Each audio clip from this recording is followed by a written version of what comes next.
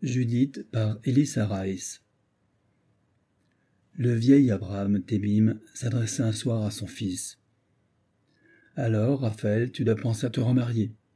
Tu as porté ton œil scrupuleusement.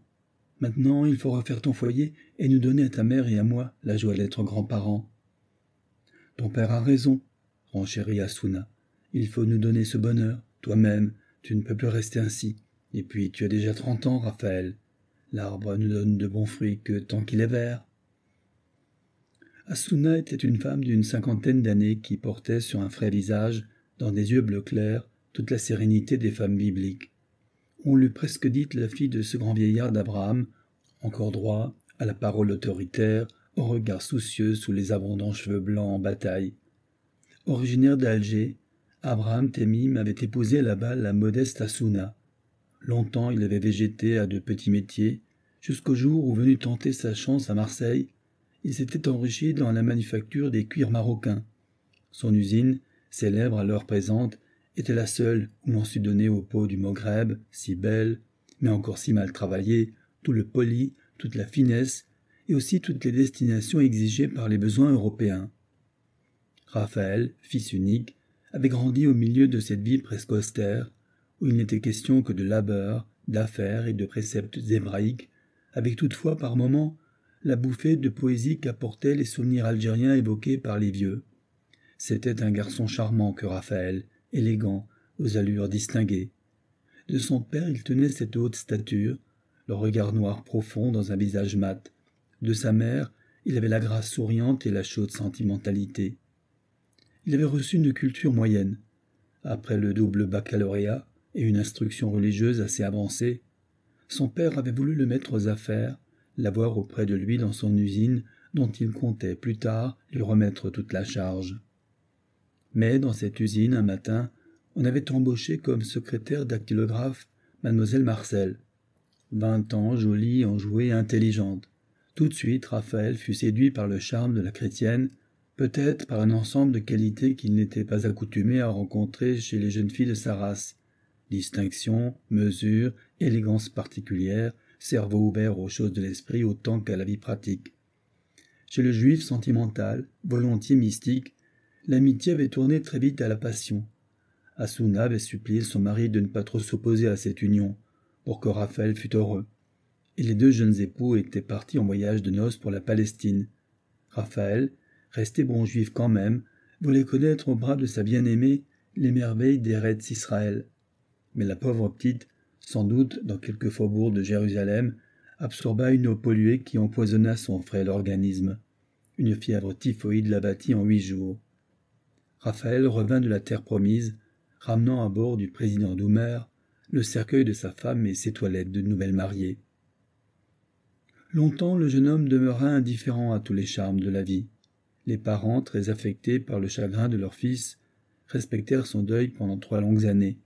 Puis, ce soir, un soir de mai qui faisait crépiter de joie ce vieux quartier de Marseille, à la table du sabbat, le père pensa qu'il pouvait attaquer ce sujet qui lui brûlait les lèvres depuis trop de jours.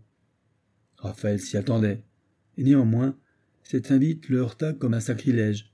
Il pâlit, et sans répondre, continua de découper le poulet farci apporté par la vieille servante algéroise. Il songea. Mon père et ma mère disent vrai, cependant. Je leur dois du bonheur. Je suis l'unique rayon de soleil qui doit réchauffer leur vieillesse. Abraham prit son silence pour de la résignation, sinon pour un acquiescement. Il poursuivit. Mais cette fois je voudrais, mon cher fils, que tu épouses une fille de notre race, une Algérienne surtout, qui nous apporterait sur elle le parfum de là-bas, dans ses yeux l'éclat de notre ciel, dans sa bouche le chant de notre langage. Une ivresse d'espérance gagnait le vieillard. Elle avait été charmante, certes, la pauvre petite défunte, respectueuse à l'égard de ses beaux-parents, désirant se rapprocher d'eux, leur plaire par mille attentions délicates. Il n'était pas parvenu à l'aimer. Il s'était senti invariablement gêné en sa présence, gêné dans leur parler arabe, dans leurs gestes juifs, dans leur intérieur démodé, dans leurs coutumes patriarcales. Après l'épreuve, dans son besoin de renouveau, c'était vers l'Algérie natale que le vieil homme tournait les regards. Tout cela n'est pas très facile, répondit évasivement Raphaël, qui cherchait une échappatoire. Je ne suis jamais allé en Algérie, je ne connais personne. Rien de plus facile, répliqua le père. Je vais demander à mon frère Moïse, en même temps que je lui enverrai sa petite mensualité, de nous mettre en relation avec un marieur d'Alger. Tu te rendras ensuite là-bas toi-même, tu n'auras plus qu'à fixer ton choix. Oh, me marier, moi, dans de telles conditions, ça me choquerait horriblement. Mais, mon cher enfant, presque tous les mariages là-bas se font par l'entremise d'un marieur ou d'une marieuse. Ainsi, moi, j'ai épousé ta mère grâce à la fameuse parienté. Je peux dire que je ne le regrette pas. Et comment nos jeunes gens feraient-ils pour se connaître? À douze ans, nous retirons nos filles de l'école pour en faire de bonnes ménagères. Elles ne vont pas au bal, elles ne deviennent ni professeurs, ni avocates, ni. Le mot de dactylographe s'étouffa dans la bouche du vieil homme, et comme Raphaël baissait les yeux avec tristesse. Laisse-moi faire, déclara le vieillard sur un ton résolu. Mon frère Moïse nous indiquera un entremetteur sérieux qui nous procurera la jeune fille rêvée. Oh, dit Raphaël navré, que veux-tu charger ce pauvre oncle aveugle de cette commission?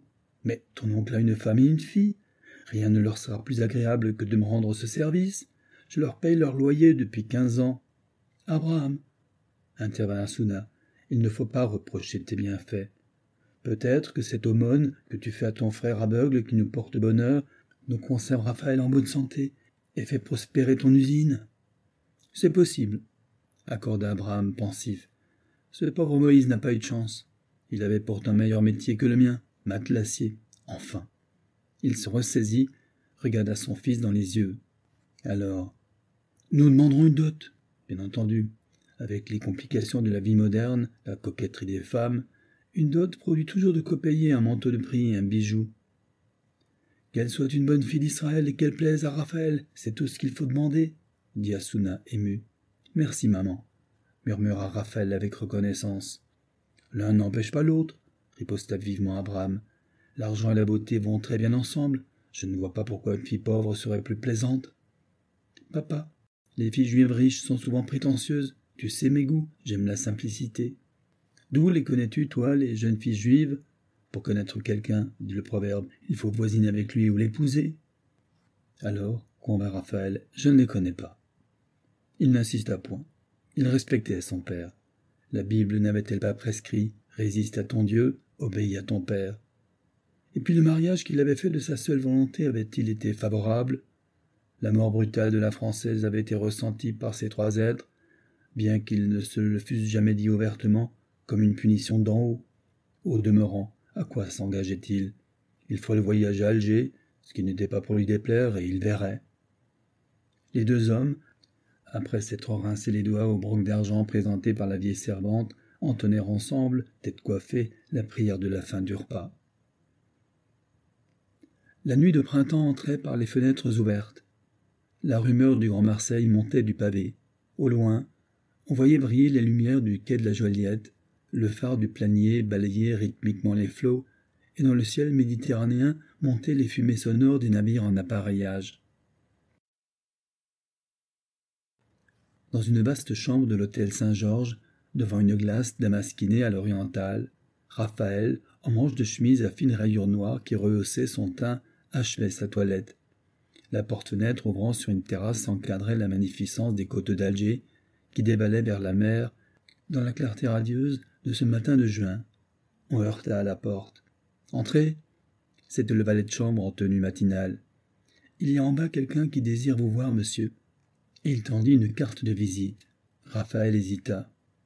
Bien, dit-il enfin, priez qu'on attende. Il venait de lire avec ahurissement sur le carton grossier large comme un prospectus Mardoké Ainous, mariage en tout genre, grosse dot, jeune fille belle, instruite, honnête, rien à payer d'avance. Son premier mouvement avait été de faire reconduire l'individu, puis il prit le parti de s'amuser de la chose. Ce cynisme piqua même sa curiosité.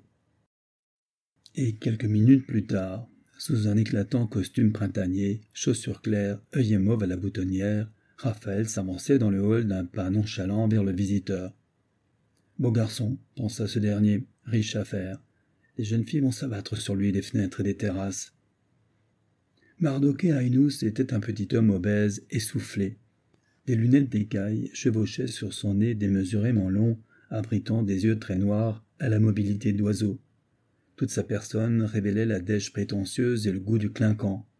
Le haut col en celluloïde où s'échappait une cravate de soie végétale fagotée sur un appareil, les moustaches retournées à la pommade, l'énorme chaîne de montre en doublé sur la rondeur de l'abdomen, la bague de strass au petit doigt dont il avait négligé de curer l'ongle. Il vint à Raphaël et le plus spontanément du monde lui serra les mains avec effusion. Je suis heureux de vous connaître, monsieur Raphaël Temim, lui dit-il sur un ton sentencieux. Je viens de la part de Moïse l'aveugle. Et sans autre préambule, il aborda l'affaire. Cela va être très facile de vous marier. Les jeunes filles raffolent de votre genre d'élégance, de votre type de visage, de vos yeux. Ah fit Raphaël, souriant. Oui, monsieur. Et puis la réputation du fabricant des cuirs maghrébins. Euh, c'est bien votre père, n'est-ce pas? Certainement. Est répandue dans tout Alger. Ce sera qui grossira la dot de sa fille pour vous avoir pour gendre. C'est beaucoup d'honneur. Car votre père m'a bien fait savoir, une jolie fille, avec dot. À ce mot, Raphaël montra un embarras qu'Ainous comprit à sa manière. Oh, mais j'ai votre affaire. Une jeune fille merveilleuse, un million de dot. Non, non, c'est trop pour moi. Tout au plus souhaiterais-je. Mais attendez que je vous dise. Elle est la fille, elle aussi, d'un fabricant. Les saucissons sultanes, vous connaissez les fameux saucissons cachères. Raphaël étouffa péniblement sans rire. Un silence suivit. Ainous pensa qu'il avait oublié de demander des nouvelles de la santé de son client. À part cela, vous avez fait un bon voyage? J'en suis sûr, par ce beau temps. Excellente traversée, répondit Raphaël. C'est une joie de voyager par mer en cette saison. Ainous tira sa montre. Ah, il faut que nous allions au rendez-vous. Quel rendez-vous Que j'ai fixé pour ce matin à une dizaine de familles. Déjà? Ainous se regorgea. Ah, moi, monsieur, j'ai pour habitude de mener les affaires tambour battant. Je dis toujours, les longues maladies deviennent chroniques. Il est déjà dix heures et demie, nous avons juste le temps. Raphaël se laissa conduire jusqu'à un taxi Lança au chauffeur avec autorité. Au jardin Maringo. Raphaël était stupéfait. Dans quelle aventure l'avait donc engagé son père? Si vous voulez bien, risqua Ainous, tandis que l'auto franchissait la sortie de l'hôtel, je vais vous dire en deux mots la façon dont je suis rémunéré. Je demande d'abord cinq cents francs de provision, pour mes petits frais, n'est-ce pas? Et un sourire avenant essaya de corriger le mensonge, à rien à payer d'avance, qu'annonçait sa carte de visite.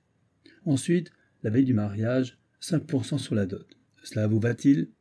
Raphaël répondit machinalement. C'est entendu. Il tira de son portefeuille un billet de cinq cents francs et le remit à Ainous, dont les doigts tremblèrent d'allégresse. Il était à la fois écœuré de ce trafic et intrigué par ses mœurs pittoresques, désarmé surtout par le naturel, l'absence totale de scrupules avec lesquels ces êtres primitifs paraissaient envisager la question. Le taxi descendait à vive la côte de Mustapha, entre les résidences de style mauresque et les jardins suspendus. Raphaël emplissait ses yeux de cette lumière, plus transparente encore, plus voluptueuse semblait-il que celle du midi de la France. Sur la place du gouvernement, il s'amusa de la foule d'Arabes, de Juifs, d'Espagnols, qui s'égayaient dans le grand quadrilatère en bordure du port, au pied de la mosquée de la Marine et de la statue équestre du duc d'Orléans.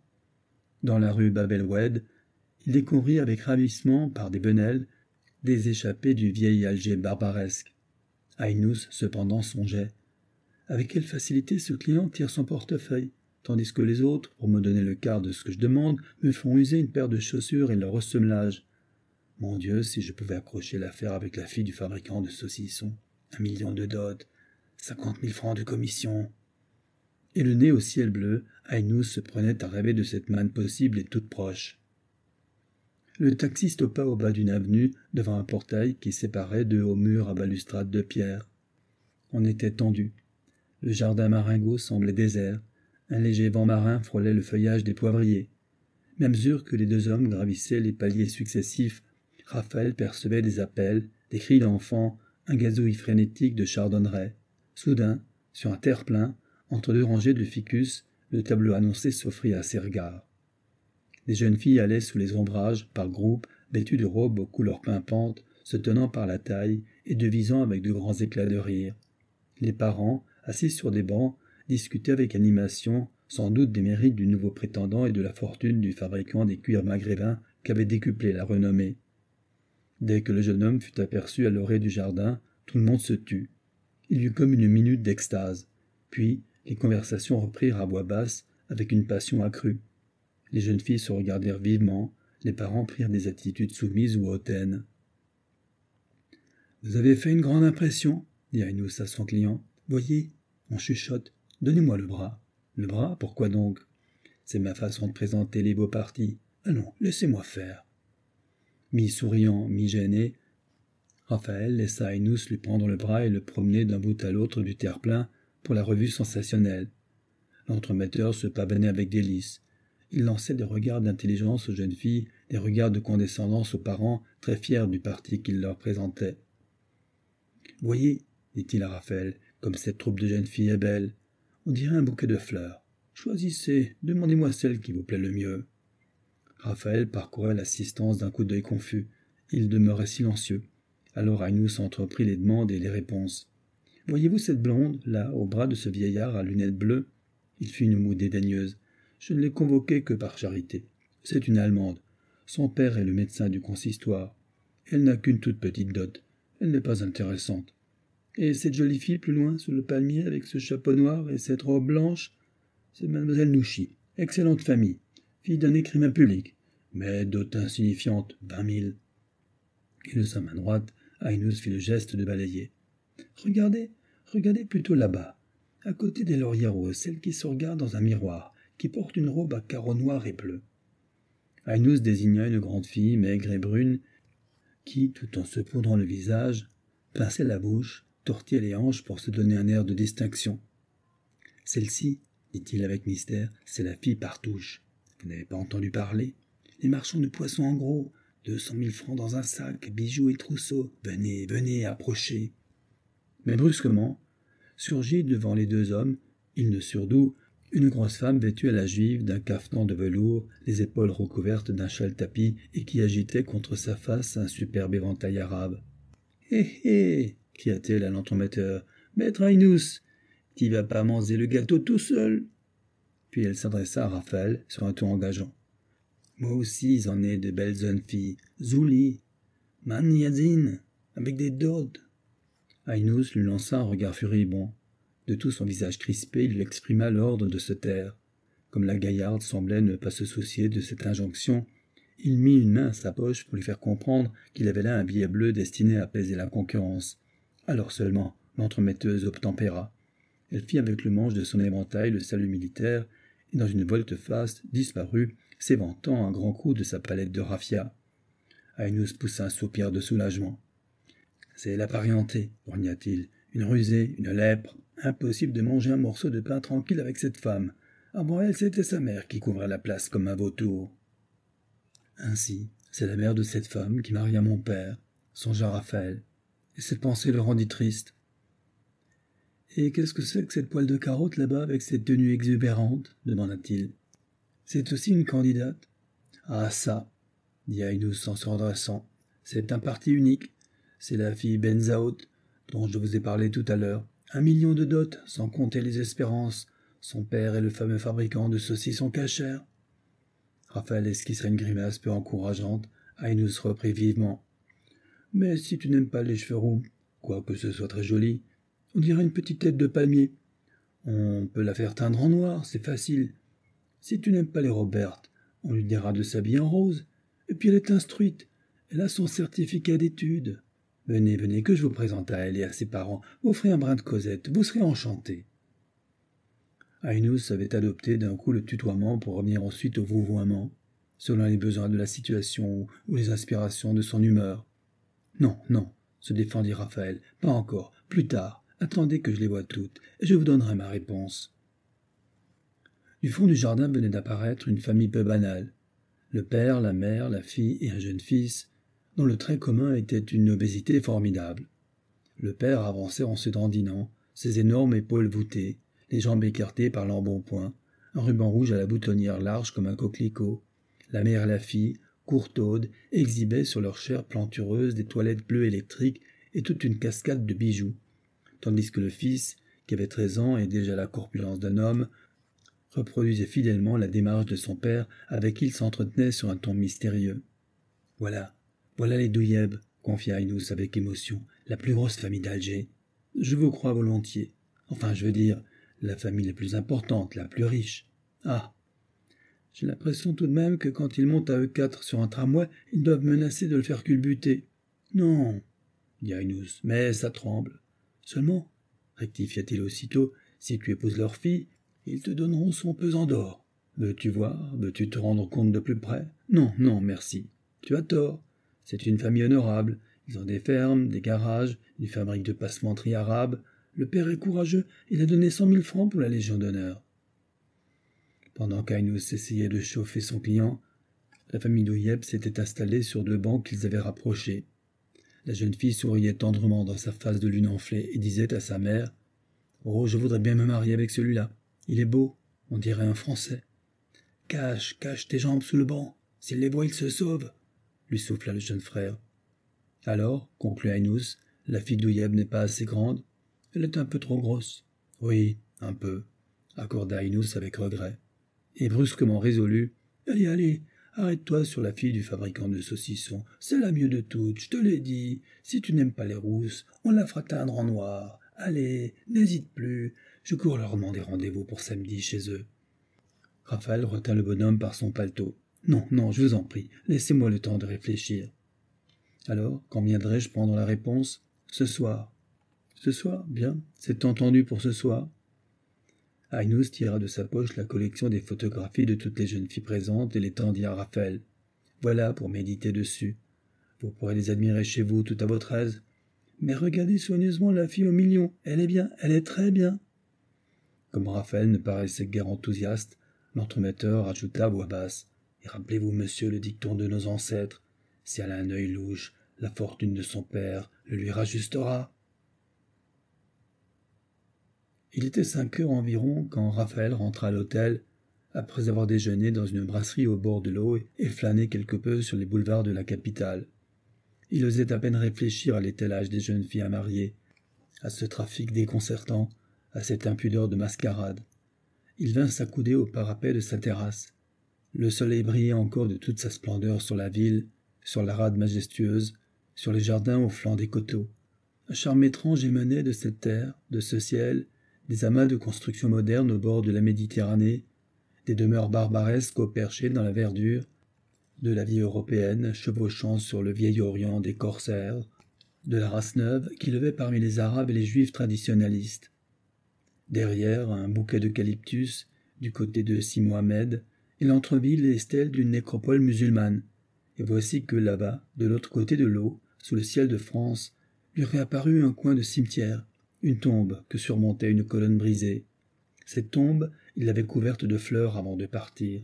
Il avait pleuré, demander pardon à sa femme de ce que la vie, les obligations de famille et de race allaient peut-être l'obliger à accomplir. Ah, combien serait pénible le choix imposé par son père. Qu'elles étaient loin, toutes ces jeunes filles, de la jolie et distinguée Marcel. Et Raphaël inclina dans la griserie amère des souvenirs. Un air de danse monta de la grande salle. Depuis quelques instants, l'hôtel s'animait, semblait-il, d'une fièvre insolite. Des garçons en grand nombre s'affairaient sous les galeries. Ils emportaient tour à tour des piles de chaises, des corbeilles de fleurs blanches, des bouteilles de champagne dans leurs seaux à glace. À n'en pas douter, on préparait un festin de noces.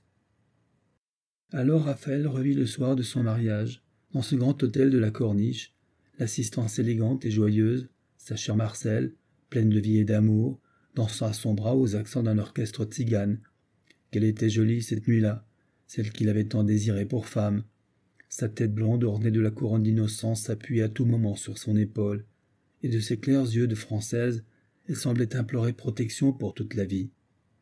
De tout cela, il ne lui restait plus rien. Le bonheur pour moi aura été bien court, se dit-il, et sûrement ne revient-il jamais. La vie est stupide. Il rentra afin d'échanger son élégant costume contre une tenue plus discrète, car il devait aller embrasser son vieil oncle et lui remettre de la part de son père la petite mensualité.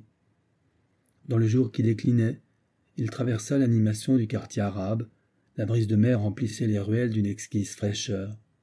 Elle soulevait le linge étendu sur les terrasses, elle gonflait les haïques des bayadères qui, déjà fardés, cigarettes à la bouche, guettaient l'amour au seuil de leurs portes. Des petites négresses criaient à tue-tête le pain chaud et les fleurs du soir. Les fidèles sortaient de la mosquée et d'un pas grave montaient vers leur lointaine demeure. Les cafetiers couraient le long des impasses, brandissant des plateaux de cuivre garnis de verres de thé pour leurs clients accroupis au pied des maisonnettes caduques. Les portes des bains morts s'ouvraient et se refermaient avec fracas, les dernières nuées de femmes blanches passaient, et l'air s'embaumait, après elles, d'une senteur d'eau chaude, de toile immaculée et d'ambre de Turquie. Après bien des recherches, Raphaël découvrit la petite maison qu'habitait son oncle. C'était une de ces demeures juives, d'avant la conquête, minuscule et fraîche, en contrebas du pavé. Des mosaïques anciennes ornaient le vestibule.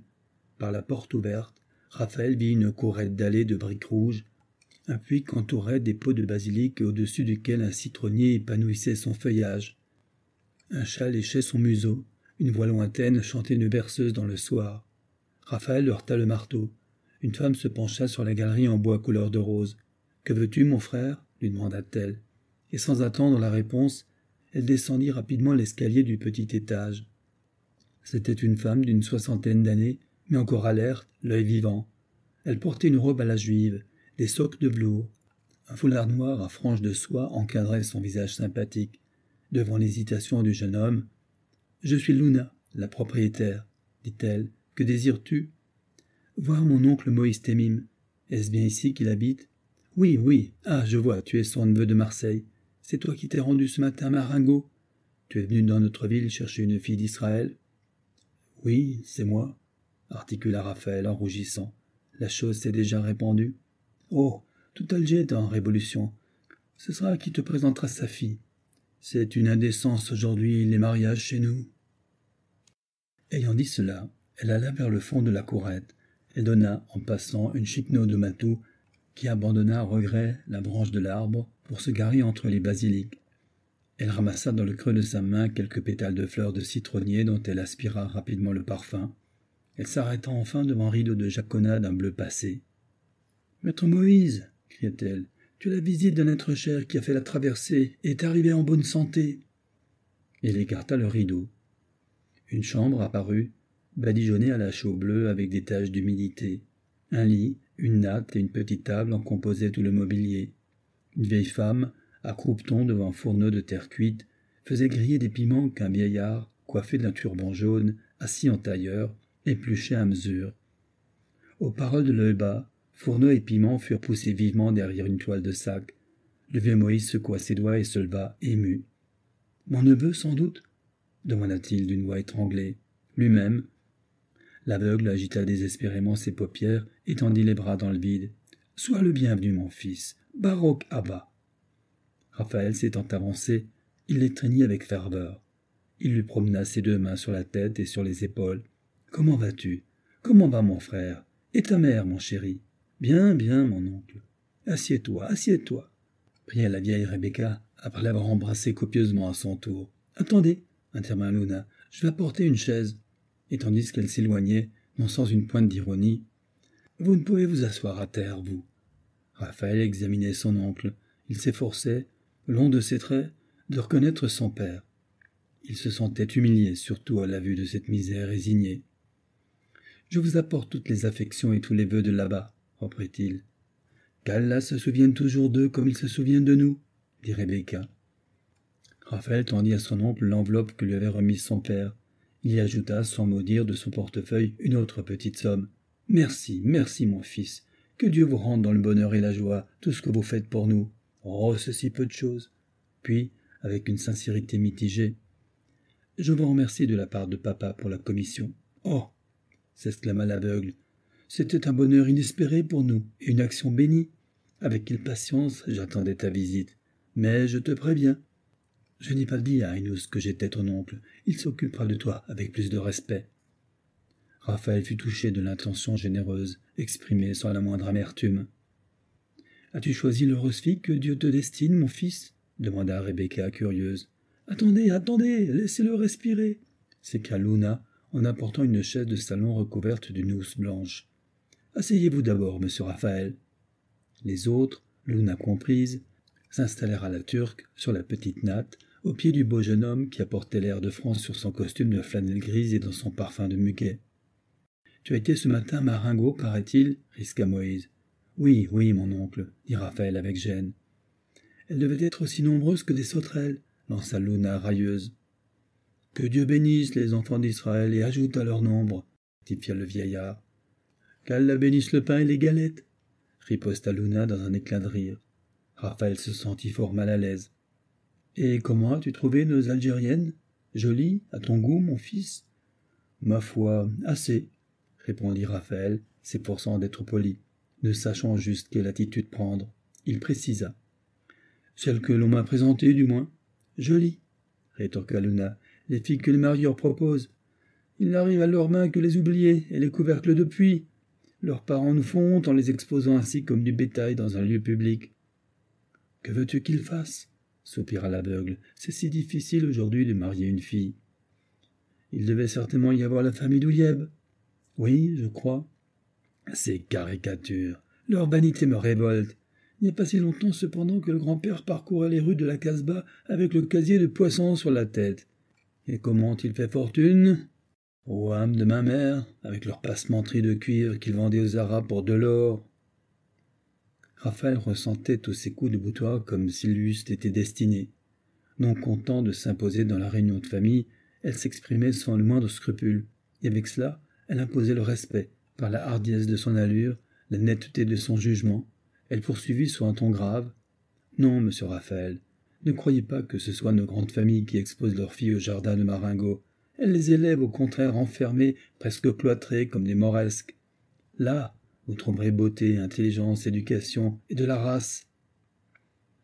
Raphaël fut satisfait d'apprendre que toutes les jeunes filles juives d'Alger ne ressemblaient pas à celles qu'il avait pu voir. Mais, madame, je serais curieux de les connaître. C'est très difficile. Et pourquoi? Parce que les grandes familles sont très méfiantes. Leur semoule reste dans leur farine. Que voulez-vous dire? Qu'elles donnent rarement leurs filles à des étrangers, à moins que. Madame, riposta Raphaël piqué, je ne suis pas tout à fait le premier venu. On connaît assez mon père, même à Alger. il n'importe.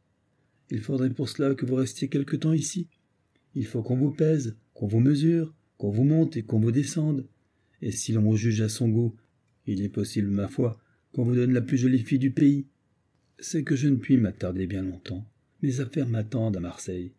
Au fait, conclut-il en se levant, vexé, je suis surtout venu pour obéir à mon père.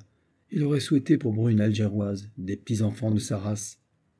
La raison est avec lui, mon fils, approuva Moïse. Peut-être, mon oncle. Mais vois-tu comme la chose est difficile quand on n'appartient pas au pays? Dieu t'aidera à découvrir ta destinée, souhaita Rebecca avec un léger soupir.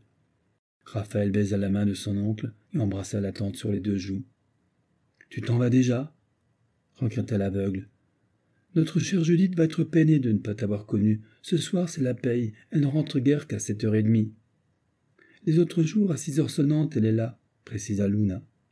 Mais j'espère revenir vous voir pour vous apprendre le résultat de mes démarches et pour vous dire adieu. Raphaël dirigea un regard irrité vers l'importune propriétaire. Il prit congé des vieux en leur souhaitant du bonheur. Luna tint à l'accompagner jusqu'au seuil de la maisonnette. La peine furent-ils engagés dans le vestibule? Monsieur Raphaël, lui dit-elle en le regardant droit dans les yeux, que ne feriez-vous une bonne action? Vous êtes riche, sans doute la dot vous importe peu. Pourquoi n'épouseriez-vous pas votre cousine Judith? Vous retireriez cette pauvre enfant de la misère.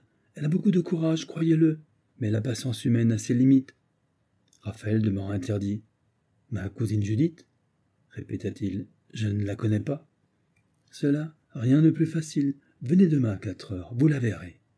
C'est que, madame, vous me mettez dans un certain embarras. Pourquoi? Parce qu'elle est pauvre? Non, pas du tout. Je ne suis pas, comme vous pouvez le penser, un coureur de dot. Eh bien, la chose me surprend, je ne m'y attendais pas. C'est toujours ainsi qu'arrive le bonheur, déclara Luna avec énergie. Dites-vous que votre cousine vaut mieux par la grâce et par l'esprit que toutes les pécores qu'on pourra vous présenter. Elle est jolie. Oh oui, elle est svelte, grande, elle a des yeux noirs magnifiques, une chevelure comme un burneau de parade. Dans son sourire disparaissent cent femmes. Hein? fit le jeune homme avec satisfaction. Certes, elle est un peu maigre, mais parce qu'elle ne mange pas tous les jours à sa faim. Le bonheur épanoui, la misère ratatine. Ce travail dans une manufacture de tabac lui brûle aussi ses couleurs, car elle est cigarière, vous le savez? Non, je ne le savais pas. Bien sûr, ce n'est pas un métier pour une fille de bonne famille. Les pauvres parents ne s'en vantent pas. Que voulez-vous? C'est encore là qu'elle a pu gagner assez vite, sans un trop long apprentissage. Mais Judith est une fille comme l'a voulu la Bible. Elle n'a contracté aucun des vices de ses compagnes, ni peigne gitane dans les cheveux, ni danse aux fêtes de village. De l'Ishiba la maison de Marie, comme l'on dit chez nous. Et comme instruction, elle sait lire et écrire. Elle a beaucoup de charme dans sa conversation. Elle est délicate, affectueuse, intelligente comme l'encre. Je vous crois bien volontiers, madame. Alors viendrez-vous la voir demain? Raphaël hésite un instant, puis Eh bien, c'est entendu. Je viendrai demain. Je souhaite de toute mon âme que l'affaire se fasse, brusqua Luna. Et vous ne le regretterez pas. Songez si je connais Judith. Elle est née dans ma maison. Elle est un peu ma fille. Parfois je lis le découragement dans ses yeux, mais je veille sur elle. Je lui dis Judith, ma chérie, tu remplis une tâche sacrée. Tu travailles pour tes vieux parents. Dieu te récompensera. Elle me répond J'espère. La voix de Luna, jusqu'alors ferme, par instant brutal, s'emplit d'une infinie douceur. Voyez-vous, monsieur Raphaël, je voudrais tant que ma prédiction se réalise. Judith rentra ce soir-là plus tard que de coutume. Elle était soucieuse, elle trouva Luna et ses parents en conciliabule, chose qui ne la surprit guère, n'étant pas nouvelle. Mais à sa vue, le petit groupe cessa net la discussion. Qu'y a-t-il, ma fille, que tu rentres si tard? demanda Moïse avec inquiétude. Il est neuf heures. Ce n'est pas de ma faute, dit Judith. Les ouvriers ont décidé de faire grève. Le patron veut encore diminuer les salaires. Il a bien fallu que j'attende pour connaître le résultat de leur dispute. Cela ne m'amusait pas, ajouta-t-elle avec un soupir. Pauvre chérie, murmura Rebecca. Que Dieu te délivre de cette usine. On ne travaillera pas demain, et sans doute plusieurs jours. Comment allons-nous faire pour arriver à la fin du mois? Et Judith retira des épaules sa pointe de laine bleue. Elle parut accablée, sa gorge bien dessinée, un peu maigre. Une élégance classique, semblait-il, marquait la pâleur de son visage, son regard noir, cerclé de bistres, ses mains longues, sa taille haute moulée dans une robe de coton à pastis bleu. Elle tendit à son père une poignée de cigarettes, la part quotidienne à laquelle elle avait droit. Dieu, ma fille, déclara l'aveugle en les enfouissant dans sa poche, a préparé le remède avant le mal. Et comme Judith regardait son père sans le comprendre, ton cousin de Marseille est venu nous voir tout à l'heure. Il montra une enveloppe d'où il tira une liasse de billets. Voilà tout ce qu'il m'a donné. Nous avons là plus qu'il ne faut pour finir le mois et passer le prochain. Raphaël est venu s'écria Judith ravie, toute métamorphosée. Oh, comme il est gentil J'avais un tel souci avant d'entrer. Et vibrante d'émotion, elle s'agenouilla sur la natte devant le petit groupe. Alors, racontez-moi, comment est-il? Moi, dit l'aveugle, j'ai cru reconnaître en lui la voix de mon frère. Il est charmant, dit Luna, grand, mince, avec un teint de blé mûr et des yeux comme des encriers, mais il parle peu, il a l'air triste. Pourquoi serait-il triste? S'étonna Rebecca. Est-ce qu'il lui manque ce qui nous manque? Oh, comme Judith, mais il a perdu sa femme, une très jolie française, paraît-il. Te souviens-tu, maman, de cette lettre que l'oncle Abraham nous envoya après la mort de sa bru? Il craignait, lui et la tante, que leur fils ne se consolerait jamais. Et voilà, il vient pour se remarier. Et que vous a-t-il dit sur les jeunes filles qu'on lui a présentées? Est-ce qu'il a fait son choix? Non, répondit Luna. Il dit qu'aucune ne lui plaît. Ah fit Judith avec soulagement. Et sais-tu, il ne tient pas du tout à la dot, insinua la malicieuse propriétaire. Judith demeura pensive. Alors la maman Luna lui a proposé une jeune fille qu'elle connaît, belle, sage, intelligente. Tiens, tiens, balbutia Judith tristement. Et je la connais? C'est toi, ma chérie. Judith se leva d'un jet. Comment, Luna? Tu as osé? Tu as osé lui parler de moi oh? Son pâle visage s'était empourpré violemment. Oui, chéri Moïse, une sœur ne ferait pas ça pour nous. L'occasion était trop belle pour ne pas la saisir, déclara Luna. Moi, j'ai confiance. Parce que tu es bonne, Luna, dit Judith, radoucie. Mais vous êtes naïf. Comment pouvez-vous croire qu'un monsieur comme Raphaël, fils d'un grand industriel, aille se contenter d'une cigarière dont il soutient le père par son aumône, même s'il acceptait la chose par impossible, il ne manquerait pas de Richard à Alger pour l'en dissuader. Songez donc, quel parti rare, quel placement pour leur fortune. Eh bien, on voit que tu ne connais pas ton cousin. Il n'est pas fier le moins du monde de sa situation, et crois-moi, son œil est une balance. Quand je lui parlais de toi, il n'a pas dit non. Judith parut gênée. Ah, il n'a pas dit non Puis brusquement. Mais il l'a pensé. Pas du tout. Il a même trouvé mon idée bonne. Et puisque tu veux tout savoir, il sera ici demain à quatre heures. Si vous vous plaisez, l'affaire ne traînera pas. De nouveau le sang afflua aux joues de la jeune fille, mais ce fut cette fois sous la poussée de l'espérance. Oh. articula-t-elle à travers son trouble. Il n'y a que son avis qui compte. Moi, je n'ai pas le droit de choisir. Et que pourrais-je souhaiter de mieux? Il est accompli sur tous les points. Je ne sortirai pas de la famille. Un moment confiante, elle laissa s'épanouir son rêve, elle étala des projets. Et puis, rappela Luna, tu ôteras du cœur de tes parents cet ulcère. Ils étaient persuadés que tu ne te marierais jamais. Aujourd'hui, les filles adotes trouvent difficilement leur couvercle. Mais soudain Judith secoua la tête, son opulent chignon se dénoua sur ses épaules. Non, dit-elle, le regard durci. Non, je ne veux pas nourrir cette chimère. La déception serait trop pénible. En tout cas, pria Luna, tu te feras belle pour le recevoir demain. Je veux bien faire quelques toilettes pour recevoir mon cousin, mais non, non. Elle s'interrompit, songeuse. Seulement je songe que ma robe du samedi est bien fanée. Elle a des taches de tabac. Je l'ai mise plusieurs fois le dimanche pour des heures supplémentaires. Pour cela, dit Luna, tu n'as pas à t'inquiéter. Je te prêterai mon costume de noces à la juive. Il t'ira à merveille. Il te dissimulera ta maigreur. Il est encore presque neuf dans ses papiers fins. De quelle couleur est-il? Il est en satin blanc, avec des rayures mauvais or. Il fait très chic. Un peu trop pour moi. Et pourtant les yeux de Judith s'illuminèrent à la pensée qu'elle allait être belle. Comment pourrons-nous te rendre tout ce que tu as fait pour nous, Luna? dit Moïse, cependant qu'une larme brillait au bord de ses paupières éteintes. Je ne fais que ce que je dois. Je demande seulement que Dieu m'aide dans cette misva. La nuit s'était faite sur la haute ville. La courette s'emplissait de silence lunaire. L'aveugle se leva, revêtit son télite, et au milieu des trois femmes agenouillées, récita la prière du soir. Après le repas de piment frit et d'une soupe aux pois chiches, pris dans le même plat que ses parents, Judith roula son petit matelas et au lieu de le disposer comme d'habitude les soirs d'été sur le carrelage de la galerie, elle gravit avec son fardeau la longue échelle qui menait à la terrasse. Elle déroula sa couchette face à la mer et s'y étendit. Elle éprouvait un besoin de recueillement. Sous le ciel clair, frétillant d'étoiles, Judith se sentit tout autre. Ce soir, l'espoir s'était infiltré en elle. Bien qu'elle repoussât l'idée d'être la femme du cousin de France, cette idée revenait, s'imposait. Une chaleur neuve la frôlait, l'envahissait. C'était, dans son cœur, comme une fenêtre qui s'ouvrait sur quelque chose d'immense. Après le tohu-bohu du jour, le calme régnait sur la planche casse-bas.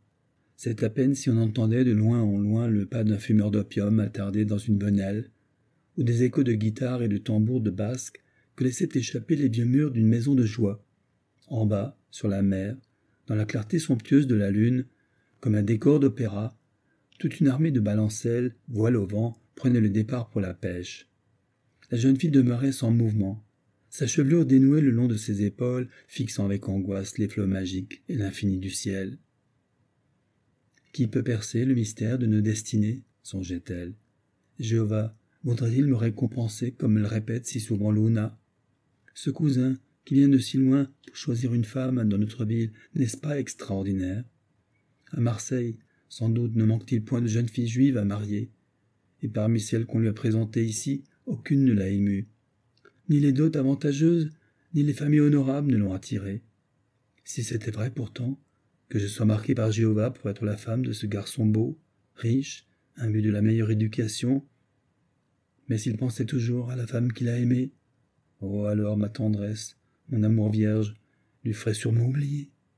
D'autres avant lui ont été frappés et ont oublié.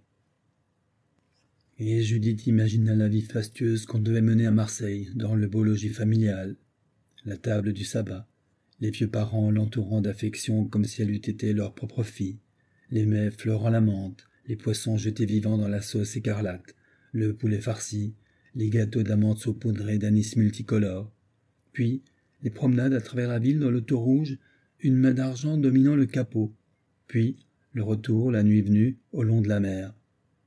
Judith se voyait, tête penchée sur l'épaule de Raphaël, très près de lui, emmitouflé dans un manteau du soir. Puis, un peu confusément, lui apparurent chambre nuptiale, lit princier, drap de dentelle, pieds nus sur des tapis profonds, chair pressée, bouche unie, l'homme l'enveloppant, dans une obscurité où tremblait des veilleuses, du charme sublime de l'amour. Judith ramena sa chevelure sur son visage pour enfermer, pour retenir son rêve, et doucement elle s'endormit. Sous les ogives de la splendide terrasse du Saint-Georges, Raphaël achevait de dîner. Potage perlé, perdrix sur canapé, couscous, fruits au champagne. Et maintenant, dans un grand verre bleu, le café distillait son arôme. L'air de la mer, passant sur les jardins obscurs, apportait tous les parfums des fleurs algériennes aux dîneurs essaimés à de petites tables qu'éclairait chacune un lampion rose. Tandis qu'il fumait un cigare et savourait le charme de la soirée, Raphaël pensait aux paroles de Luna. Encore qu'il s'en fût défendu, elle n'avait pas manqué de retentir en lui. Faire une bonne action, retirer de la misère et du labeur ingrat une jeune fille de sa race, de sa famille envers qui ses propres parents n'avaient pas fait tout leur devoir, pourquoi pas? La vieille morale juive n'avait-elle pas été à la base de l'éducation de Raphaël? Et puis, si comme l'affirmait Luna, Judith possédait tant de qualités physiques et morales, pourquoi chercher ailleurs? Pourquoi dans ce pays inconnu aller peut-être encore au-devant de déceptions, d'humiliations Car, quoi qu'il lui dit à Luna dans un mouvement de dépit, il en coûterait de rentrer à Marseille sans avoir décidé son mariage. Il imagina Judith assise en face de lui, svelte, avec une grâce tranquille, et dans ses yeux il lisait la reconnaissance. En acceptant une telle union, d'une part il réalisait vis-à-vis -vis de son père le devoir d'Israël, et le vieil Abraham, sans aucun doute, recevant pour bruit la fille de son frère, pardonnerait à sa pauvreté. Et puis, les scrupules de Raphaël à l'égard de la défunte tant aimée se trouveraient amoindris. En effet, dans la compagnie d'une femme qu'il aurait épousée par charité, et que par ailleurs il pressentait simple, vertueuse, élevée selon la tradition nord-africaine, c'est-à-dire éprise avant tout de ses devoirs de mère, il ne serait pas tenu à un abandon complet de lui-même, il pourrait garder en son cœur intact tous ses regrets, tous ses souvenirs. Il songeait ainsi quand un garçon vint lui annoncer que le monsieur du matin était là. Raphaël fronça le sourcil. Je ne serais pas mécontent de me débarrasser par la même occasion de cet individu, se dit-il. Priez ce monsieur de venir ici, ordonna-t-il au domestique. Ainous avait déjà troqué son habit de brocante contre un complet neuf. La boutonnière fleurie d'une énorme rose arabe, il s'avança, l'air triomphant. Bonsoir, monsieur Raphaël Temim. Il s'approcha un fauteuil, s'y sans attendre l'invitation du jeune homme. Puis il aperçut le café qui filtrait dans le beau verre bleu. Oh dit-il en humant l'air, que ce café sent bon. Les grains devaient être en or, en or. En désirez-vous? ne put que proposer Raphaël. Oh, j'en ai pris un plein bol à la maison. Mais évidemment, à côté de celui-là, c'était de l'eau à rincer les balais. Eh bien, nous allons le prendre au salon, dit Raphaël en se levant. Il préféra éloigner de l'assemblée élégante des dîneurs le gesticulant et inesthétique personnage. Bientôt donc, ils furent installés devant deux cafés-filtres, dans un décor d'arches de cèdre, de dentelles de plâtre, de meubles nacrés et de tentures du sud algérien. Ainous aspira bruyamment une lampée, essua ses moustaches d'un revers de main. Alors, dit-il, tandis que sans la moindre gêne, il choisissait dans le coffret présenté par le maître d'hôtel le plus gros cigare. Avez-vous vu si je suis capable en affaires? Avez-vous vu toute cette belle clientèle que j'ai? Il ne reste plus qu'à connaître votre goût, monsieur Temim. Raphaël reposa son verre, secoua la cendre de son cigare et répondit lentement. Savez-vous, monsieur Ainous Je crois que j'ai trouvé ce qu'il me faut. À la bonne heure s'exclama Ainous dans l'enthousiasme. Voilà comment j'aime traiter les affaires, comme saute la fève dans la poêle. Ah, monsieur Temim, si tous les clients étaient comme vous, je mangerais le monde, vous m'entendez? Il baissa la voix, voulant réserver un effet. Mais il faut que je vous annonce d'abord une bonne nouvelle. Pour le cas vous ne seriez pas tout à fait fixé sur la fille Benzaout, qui est, je crois, la mieux, le père d'Ouyeb m'a dit Combien t'ont misé sur lui? J'ai dit un million. Il m'a répondu Nous doublons. Raphaël, décontenancé par l'incompréhension d'Ainous, ne se hâta pas de répondre. Il cherchait ses mots pour éloigner le marieur sans trop d'éclat. Celui-ci l'examina avec un attendrissement qui mouillait ses yeux. Comme vous êtes intelligent, monsieur Temim, les deux millions vous font réfléchir. Vous avez raison. À votre place, j'en ferai autant. Vous êtes un bon commerçant. Il tapa sur l'épaule de Raphaël. un bon juif. Raphaël frémit. Il voulut relever l'injure. Il craignit le scandale. Il préféra répondre d'une voix contenue. Monsieur Ainous, nous ne nous comprenons pas. Aucune de ces jeunes filles ne me plaît, pas plus que leur argent. Comment? Aucune? Même pas la fille d'Ouyab? Balbutia Ainous avec effarement. Même pas. Monsieur Témim, vous êtes bien difficile. L'enthousiasme de tout à l'heure faisait déjà place à la colère.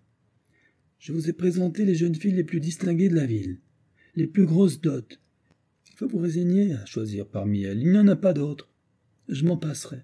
Mais que dira votre père? Sa lettre était pressante. Cela me regarde.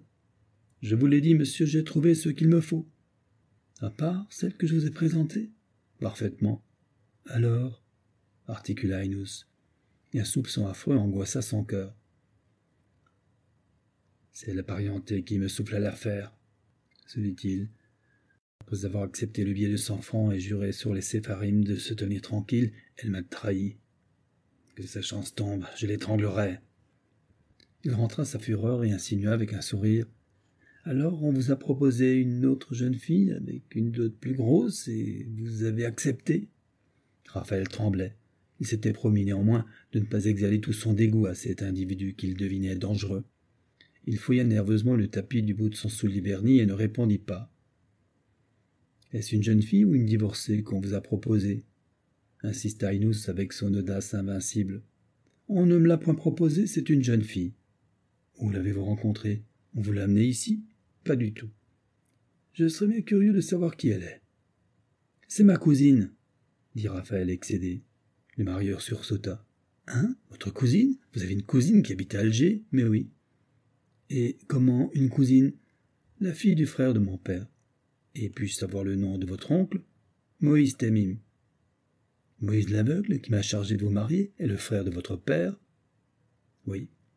Oh s'écria Inus en reculant son fauteuil en levant les bras au plafond. Je connais sa fille. Elle s'appelle Judith. Elle travaille chez Berthomeux. C'est une cigarière. Je le sais, dit calmement Raphaël.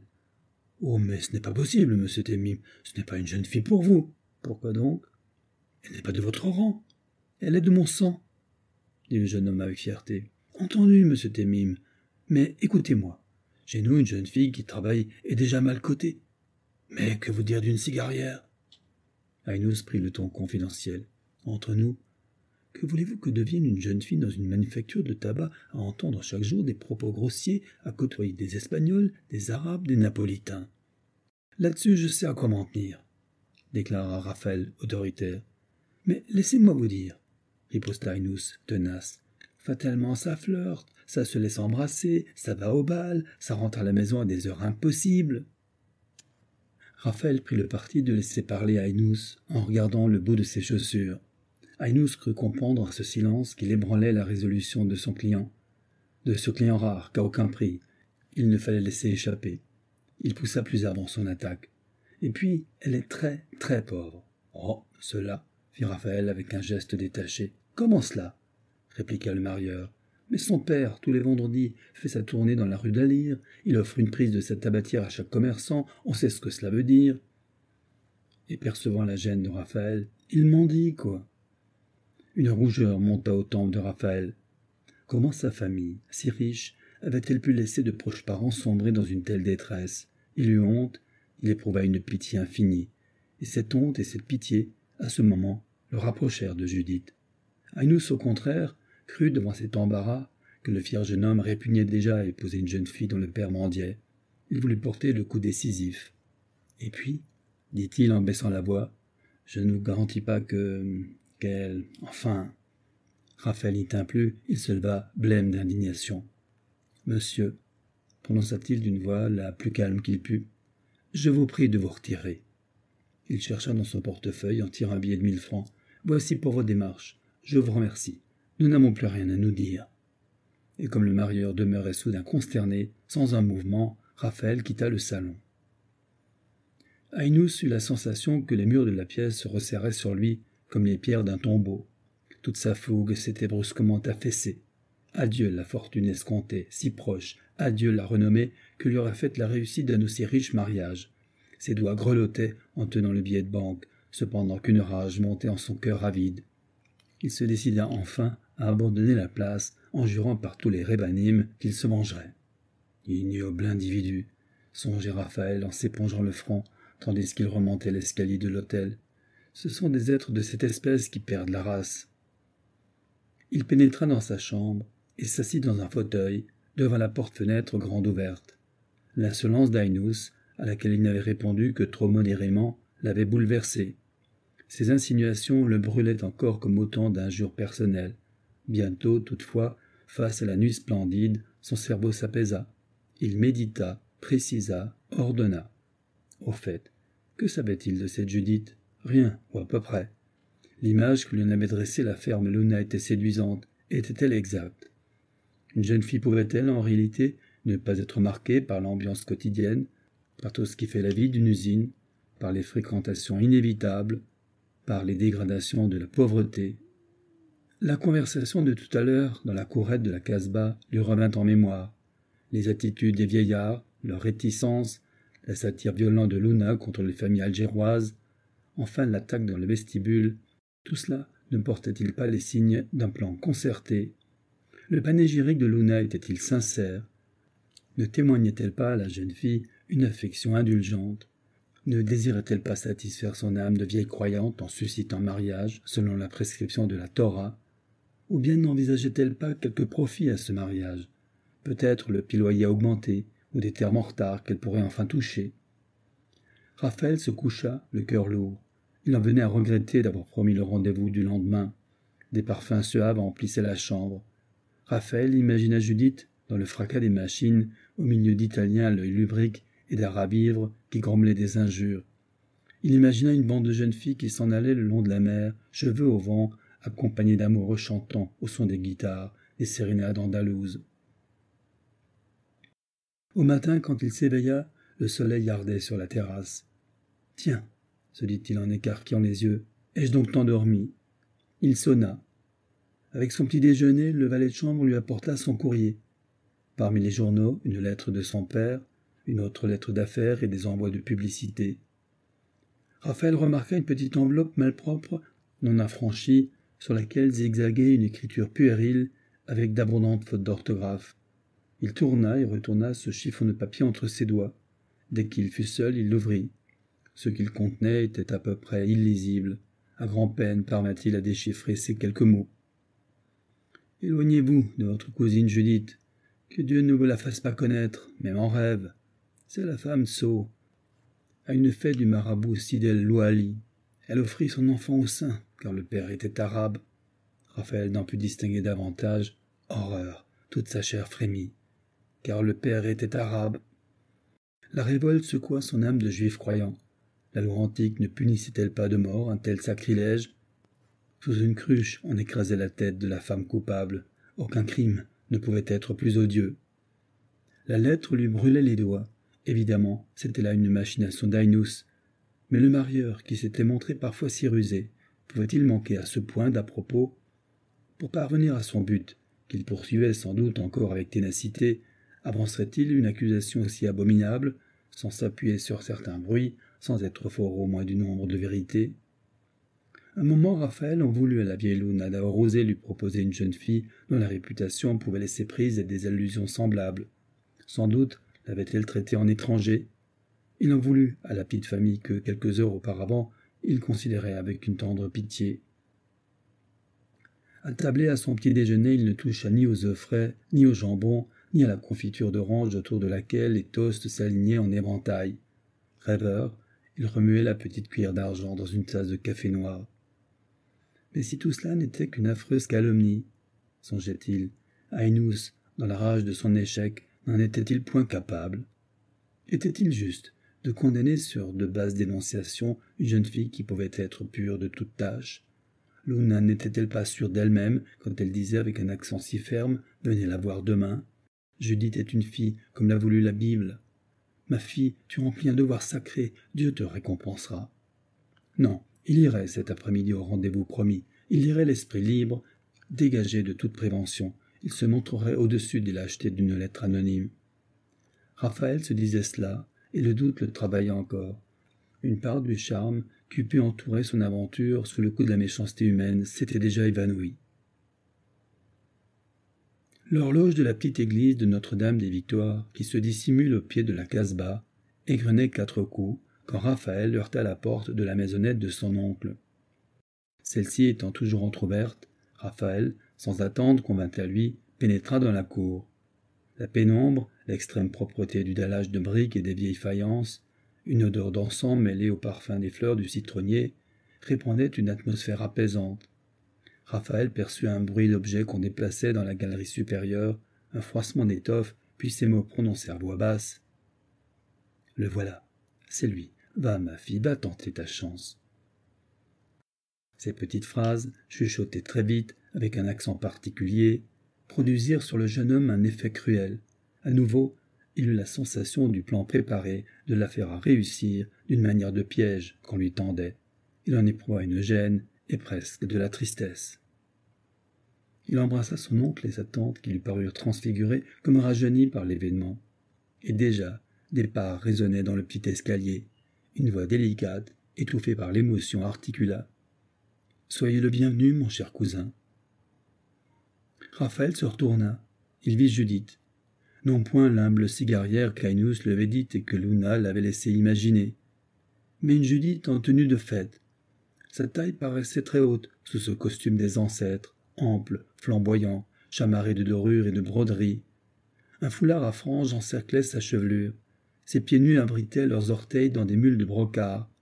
Le visage, qui eût être charmant, se figeait, semblait-il, sous le phare excessif. Yeux agrandis de col, joues carmenisées, grains de beauté pareils à des tatouages sur le front et au coin des lèvres. Raphaël un instant demeura interdit. Pourquoi un tel accoutrement, une telle mise en scène? Il comprit mal. Cet effort visible pour le conquérir, il le jugea de très mauvais goût. Il eut l'impression du travesti et de la mascarade. Tous les doutes du matin lui refluèrent à l'esprit. Un mot acerbe lui monta à la bouche qu'il ne parvint pas à retenir. Oh, mademoiselle, votre dérangement était inutile. Entendant cela, Moïse l'aveugle se dressa d'un jet. Sa main grelotta sur sa canne. Il tendit en avant son visage livide, comme s'il voulait mieux comprendre. Rebecca se pinça les joues, et Judith, d'abord suffoquée, empourprée de confusion, devint d'une pâleur mortelle sous le phare. Brusquement, elle tourna les talons et s'enfuit. Elle se précipita vers le petit escalier qu'elle gravit en trébuchant dans sa longue robe. Oh Luna Luna hoqueta-t-elle, quand elle fut parvenue sous la galerie? Quel affront Quel affront Elle couvrit sa face de ses mains fines et éclata en sanglots. Mais, ma fille, qu'y a-t-il? demanda Luna, bouleversée, un morceau de colle forte à la main avec lequel elle se disposait à fixer son foulard sur le front. Qu'est-il arrivé? Judith ne put en dire davantage. Elle se jeta sur le petit canapé marocain du salon de Luna, et le visage enfoui dans les coussins de velours, elle essaya d'étouffer sa honte et sa peine. Luna acheva sa toilette en un tour de main et courut à son tour vers l'escalier. Raphaël, aussitôt sa phrase prononcée, la regretta amèrement. Il comprit qu'il venait d'un coup de mettre à bas de grands projets, de tuer de beaux rêves. Il avait été brutal, inconvenant. Il fut touché aussi par la douleur muette de ce vieillard qui le fixait toujours de son regard intérieur, et de cette pauvre vieille femme qui, elle, avait courbé le front sous le désastre. Qu'allait-il faire? S'excuser? Il avait le cœur angoissé, ulcéré, peut-être préparé à la haine par le mauvais ferment qui avait jeté à Inus. Soudain, il eut le désir de s'échapper de cette maison, de fuir cette famille, cette ville, tout ce peuple primitif, déconcertant, incompréhensible à son âme de juif grandi sur la terre de France. Mais enfin, qu'avez-vous fait à Judith? s'écria Luna, tandis qu'elle offrait un siège. Cette pauvre enfant pleure toutes ses larmes. Évidemment, dit Raphaël, je le regrette. Comme je me suis aperçu qu'elle s'était donné beaucoup de mal, qu'elle avait mis une très grande recherche dans sa toilette, j'ai eu pour elle un mot un peu vif. Quel mot donc? Je lui ai dit que son dérangement était inutile car je renonce au mariage avec qui que ce soit. Comment? s'étonna Luna. Vous renoncez si vite vous qui avez fait ce long voyage tout exprès pour choisir une femme de chez nous? Je voulais surtout obéir à mon père, mais je m'en rends bien compte, madame, que je n'ai plus de goût au mariage, je n'ai plus de goût à rien. Un moment, Luna fut saisie par la déception et le découragement, mais sa perspicacité, sa nature énergique reprirent aussitôt le dessus. Allons, allons, repartit-elle, je ne peux pas le croire. Hier encore vous étiez tout disposé à refaire votre foyer, que ce soit par goût ou par obéissance. Raphaël, embarrassé, ne trouva pas de réponse. Il déposa son chapeau sur la margelle du puits, se moucha, jeta un regard furtif vers son oncle qui maintenant dans un coin du patio s'était recroquevillé sur lui-même. Comme il persistait dans ce mutisme, Luna déclara Écoutez, monsieur Raphaël, il s'est passé quelque chose depuis hier soir. On vous a proposé une dot alléchante, ou Raphaël protesta du geste. Car en me quittant, poursuivit Luna, vous paraissiez heureux à l'idée que je vous avais suggérée d'épouser notre Judith. Cette idée vous semblait bonne. Certes, madame. Madame, que voulez-vous, j'y réfléchis, je. Parlez, parlez, dites-nous ce que vous avez. On affirme que les gens de France n'ont pas peur. Nous aussi, nous serons courageux pour entendre toute votre pensée. Raphaël regardait la veillante femme dans les yeux. Il fut sur le point de lui avouer ce qui s'était passé, de lui étaler ses inquiétudes, l'évolution de sa pensée et de ses sentiments depuis la veille, il hésita. Parlez donc. Mais oui, mon fils, risqua Moïse, celui qui parle est entendu de Dieu et des hommes. Et comme Raphaël ne se décidait pas, répondant par les bouts de phrases évasives, Non, ne croyez pas, il n'y a rien. La clairvoyante propriétaire qui l'examine avec acuité s'enhardit. Je suppose que quelque médisance vous aura contrarié. Si c'est cela, n'hésitez pas, nous ne craignons rien. Dites-vous seulement que les médisants doivent se laver la bouche cette fois avant de parler de nous. Devant cette insistance et cette fermeté, Raphaël résolut d'en finir, d'exhiber la lettre calomniatrice. Il porta une main à sa poche, puis la retira. Il craignit le mépris de la courageuse Luna, il craignit des complications possibles. Mais Luna avait surpris son geste. Elle s'est élevée, elle s'avança vers lui. C'est là qu'est le secret, dit-elle. Il désigna du doigt la poche du veston. Voyons donc, monsieur Raphaël, est-ce que votre père vous aurait écrit quelque chose de. Non, non, interrompit vivement Raphaël. Mon père ne dit ni n'écrit jamais de mal de personne. C'est donc du mal qu'on vous a écrit sur cette noble famille s'exclama Luna. Je suis fixé. Ce mot, cette noble famille, le ton d'assurance avec lequel il fut prononcé, impressionnèrent le jeune homme. Il tira l'enveloppe malpropre et la tendit à Luna. Tenez, lisez. Luna ne put retenir, en dépit de son attente, un mouvement de surprise. Frémissante d'indignation, un pli dédaigneux au coin des lèvres, elle lut. Monsieur, éloignez-vous de votre cousine Judith. C'est la femme Tso. Elle s'est compromise avec tous les employés de la fabrique. Une angoisse mortelle crispa les visages de Moïse et de Rebecca, laquelle écartait de ses oreilles son petit châle noir pour mieux entendre. Luna, la gorge étreinte, les yeux fixes, lut la dernière phrase, car le père était arabe. Un cri rauque partit de la bouche de Rebecca. Moïse se dressa, les bras tendus vers le ciel. Jéhovah implora-t-il, protège-nous. Ce sont ces péchés qui nous attirent ton courroux. Pardonne, pardonne.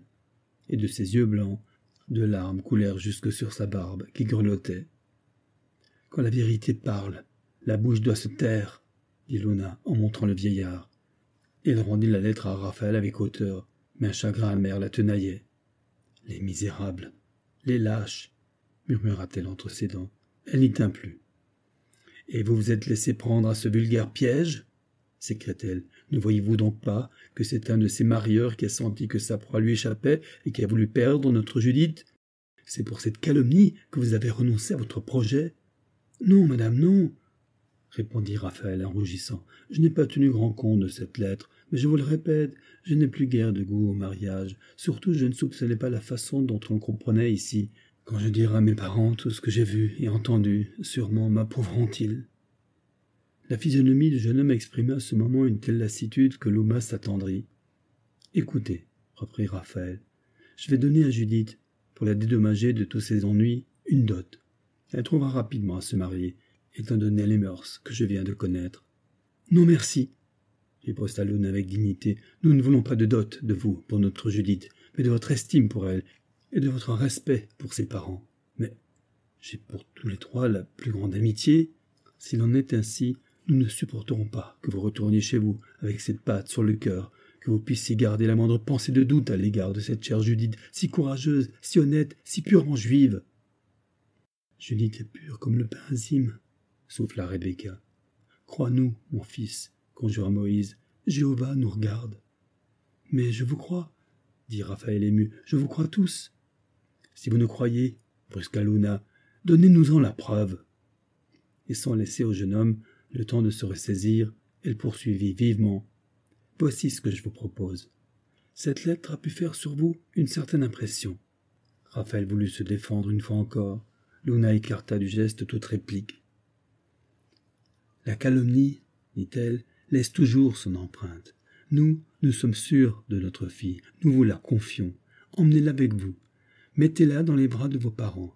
Priez à Rabbin Pauvre de venir vous donner une bénédiction nuptiale clandestine. Judith ne trouva rien à redire à cela. Elle est pieuse. Chez nous, c'est surtout le mariage religieux qui compte. Et quand vous aurez trouvé la Vierge telle que Dieu l'a prescrit, jurez-nous qu'alors vous l'épouserez devant les hommes.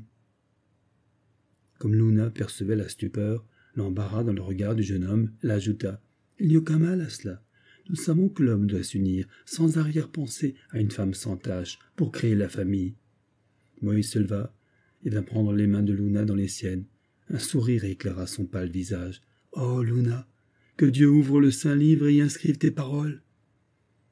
Que ta vie soit longue, lui souhaita Rebecca en l'embrassant. Tu nous as réchauffés. Raphaël, devant cette simplicité qui ne pouvait être que sincère, voyant l'espérance renaître chez ces pauvres gens, remuant enfin par l'éloquence persuasive de Luna, dit à cette dernière Eh bien, soit, madame, je vais suivre vos conseils. Appelez Judith, que nous nous réconcilions. Cette fois, Luna ne trouva plus une parole.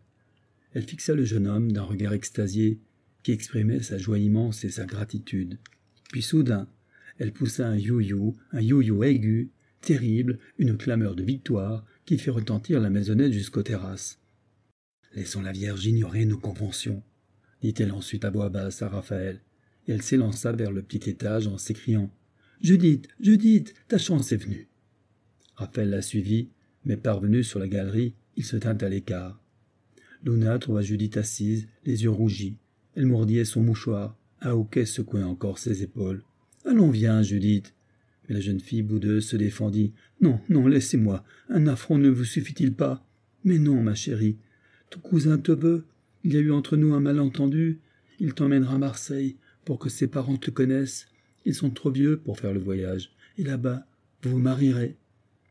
Judith, incrédule, résistait toujours à la prière de Luna.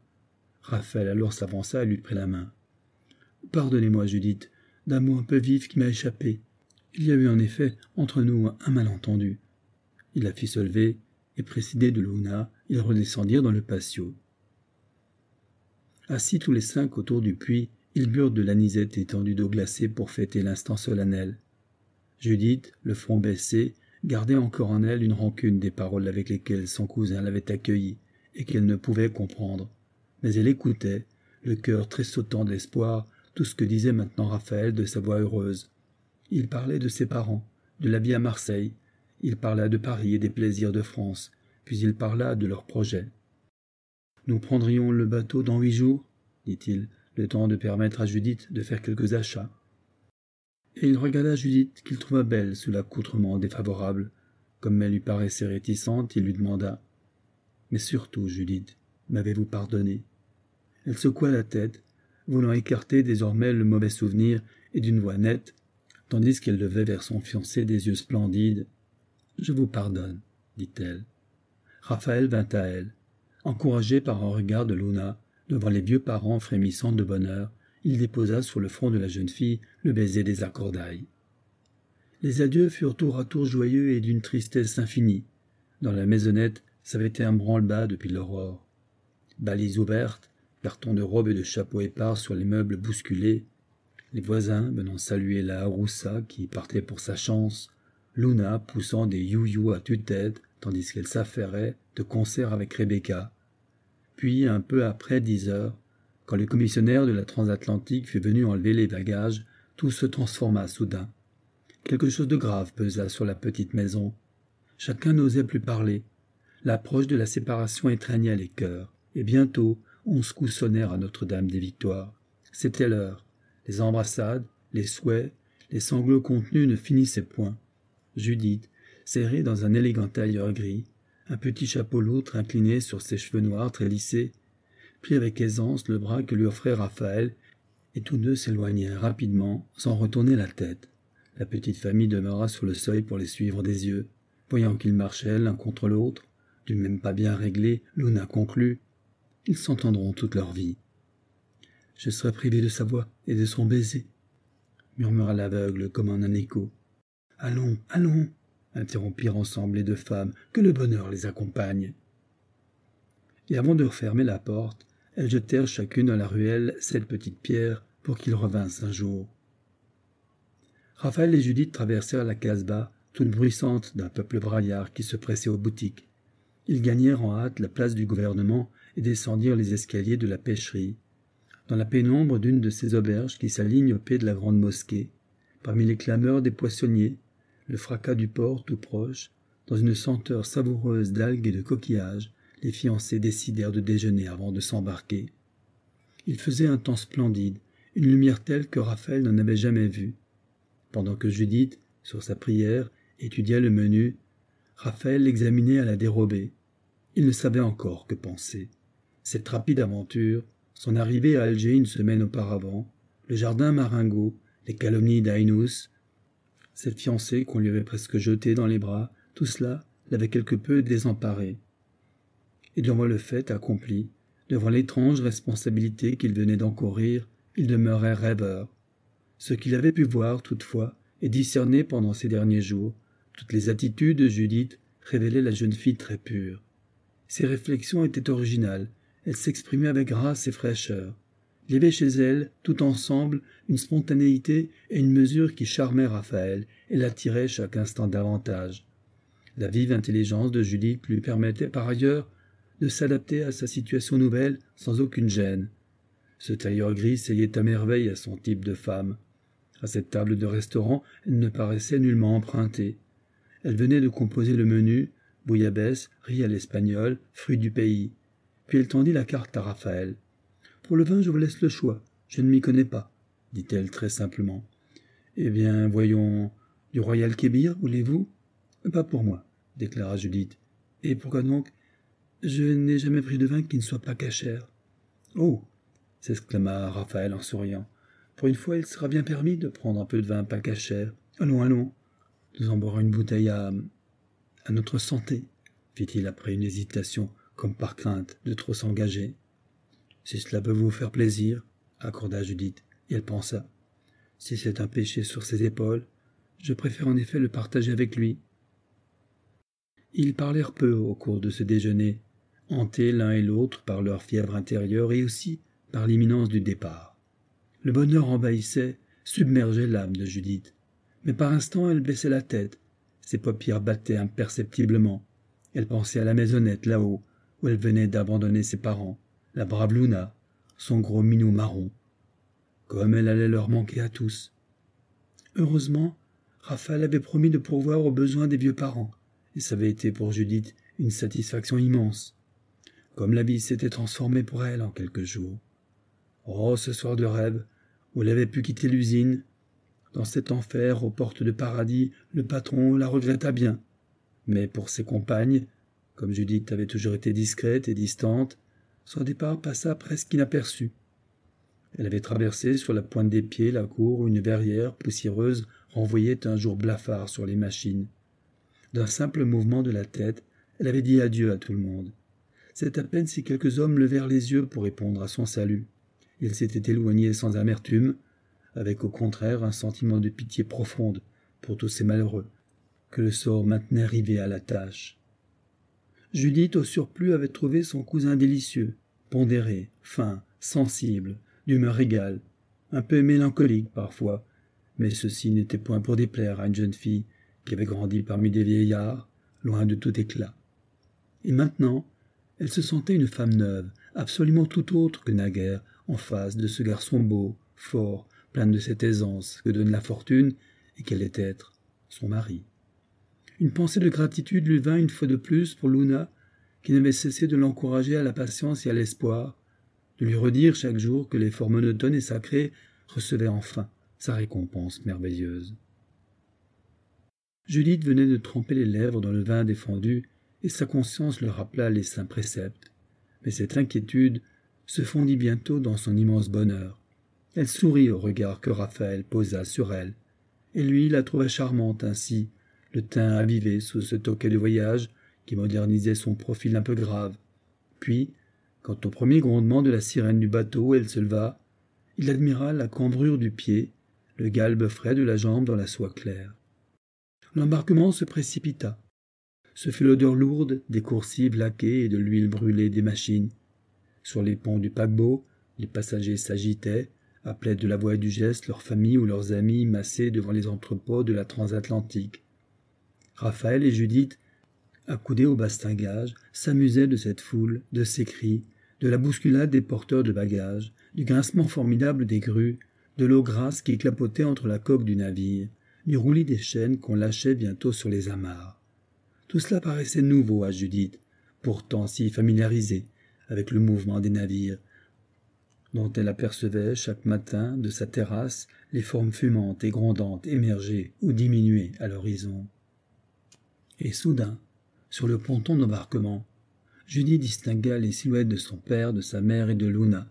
Elle leur fit des deux mains des signes enthousiastes, elle leur envoya des baisers. Moïse noua son grand mouchoir à carreaux jaunes à son bâton d'aveugle et le hissa en geste d'adieu. La petite famille, en effet, après avoir déjeuné à la hâte sur la margelle du puits, avait décidé de descendre jusqu'au bateau pour s'emplir les yeux une dernière fois de sa chère Judith. Et maintenant, le navire s'éloigne, il franchit la jetée, il gagne le large avec une vitesse accrue, et Judith demeure là, contre le bastingage, fixant ses chers parents et la bonne Louma, jusqu'à ce qu'ils disparaissent à sa vue, jusqu'à ce que la rive même, les maisons et les jardins se soient fondus en des lignes indécises. Brusquement, une angoisse l'étreint. C'est, lui semble-t-il, la peur de l'inconnu. Les larmes coulent. Il lui souvient d'une phrase biblique que son père répétait volontiers. Celui de qui tu te sépares ce soir, comment se lèvera-t-il demain? Raphaël surprend cette détresse dans les yeux de Judith. Il la juge excessive, en regard du grand bonheur qu'elle devrait ressentir. Il s'inquiète. Que regrette-t-elle réellement se dit-il. Peut-être certains charmes de la vie de là-bas, des camarades d'usine, certaines habitudes plus ou moins relâchées, peut-être quelque napolitain sentimental qui lui compte à fleurette, ou quelque hidalgo à la ceinture rouge et aux moustaches orgueilleuses, ou peut-être toute la gamme des calomnies d'Ainus vibre à nouveau en lui. Une phrase de la lettre anonyme fulgure à sa mémoire. Et on ne voit plus rien de la terre, qu'une ombre floue dont on ne sait au juste si ce n'est pas une barre de brume.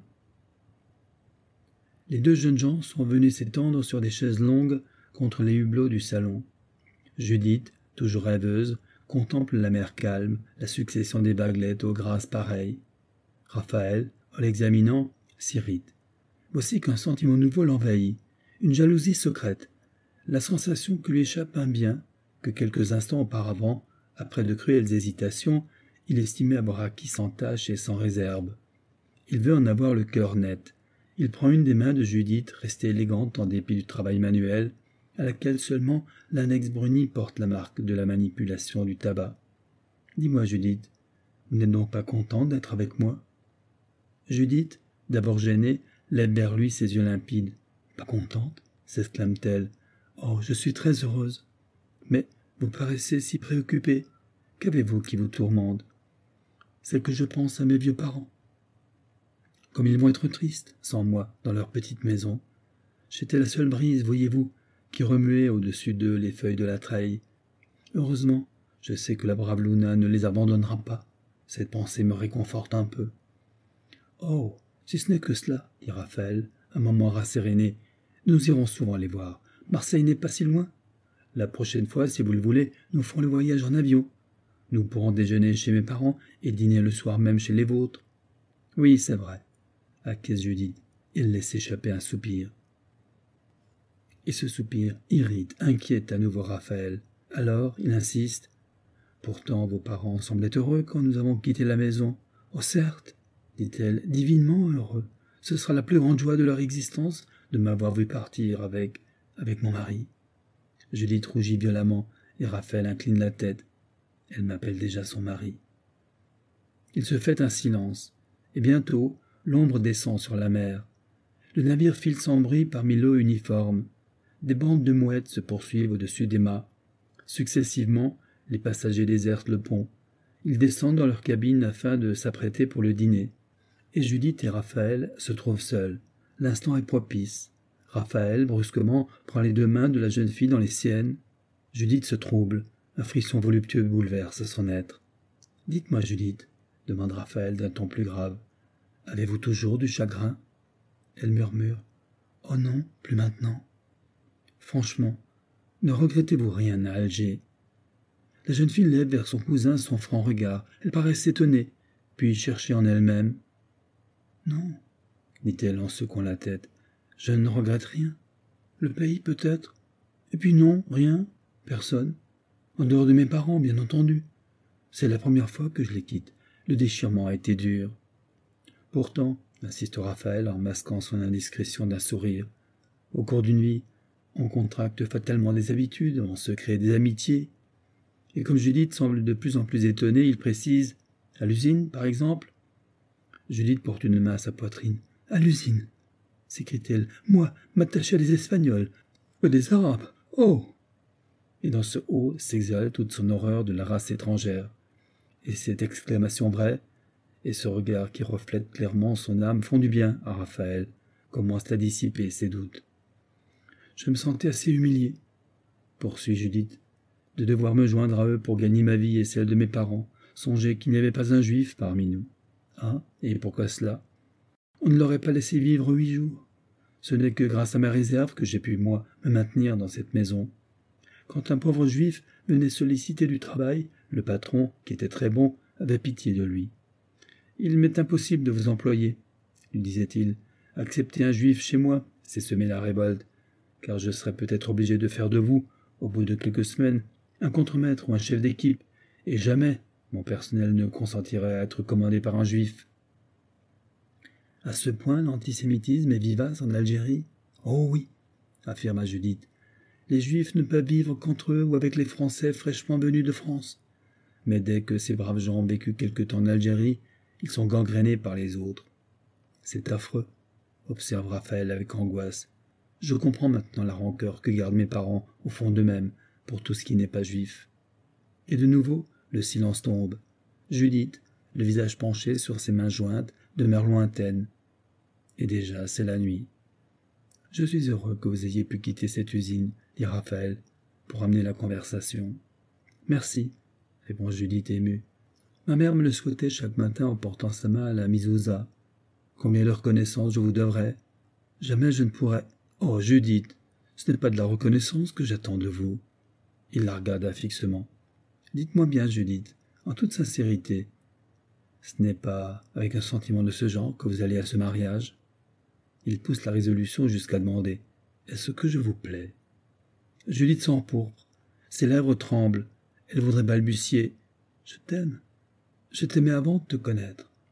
Il y a dans mon amour un mélange de fierté, de gratitude, d'affection fraternelle et d'ineffable douceur. Elle n'ose rien dire de tout cela.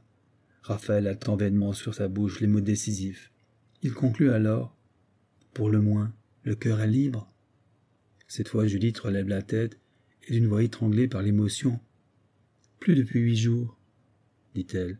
Raphaël n'hésite plus, il lui tend les bras, elle s'y blottit en fermant les yeux. Et ils ne se disent plus une parole.